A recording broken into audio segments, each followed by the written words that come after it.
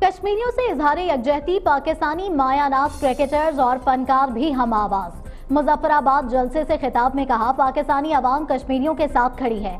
ہم اپنی آخری سانس تک کشمیر کا مقدمہ لڑتے رہیں گے۔ مودی سرکار کے مظالم بے نقاب کرنے کے عزم کا اظہار کیا، جبکہ نغمے گا کر کشمیری عوام کا لہو بھی گرمایا۔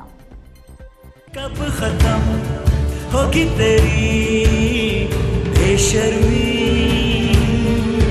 کشمیر میں تیری بربادی۔ میں ہمیشہ جو کشمیر کی بات کرتا ہوں، کشمیر کی بات اس لیے کرتا ہوں کیونکہ میرے خون میں ہے۔ میں کشمیر کے ساتھ ہوں، میں ہر ظالم کے خلاف ہوں، مظلوم کے ساتھ ہوں۔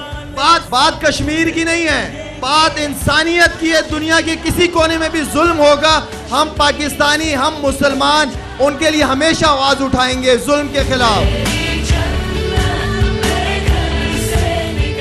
ہم صرف ایک بات کہتے ہیں، میں دیکھتا ہوں کہ جہاں بھی دنیا میں ظلم ہوتا ہے، ہم پاکستانی اپنی آواز اٹھاتے ہیں۔ تو ہم یہاں کشمیر بھائیوں کے لیے جمع ہوئے ہیں اور انشاءاللہ جس تکلیف میں وہ ہیں، ہم انہیں اس تکلیف سے ضرور نجات دلائیں گے۔